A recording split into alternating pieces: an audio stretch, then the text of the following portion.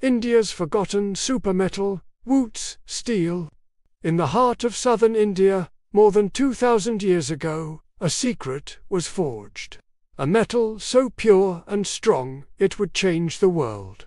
Wootz steel, unlike ordinary iron, Wootz was made in sealed crucibles. Iron ore, charcoal and glass were melted together, trapping carbon in the steel. When cooled, it formed a blade with strength, sharpness, and a watery pattern unlike anything seen before. The secret spread. Traders carried Wootz steel from India to Persia and beyond.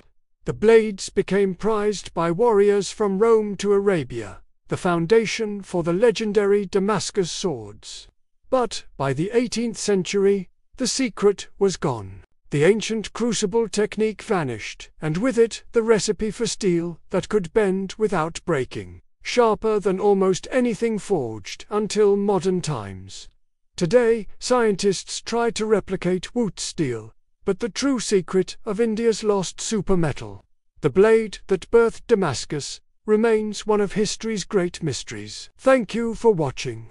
Please like and subscribe, and we will see you next time on History Dude BC.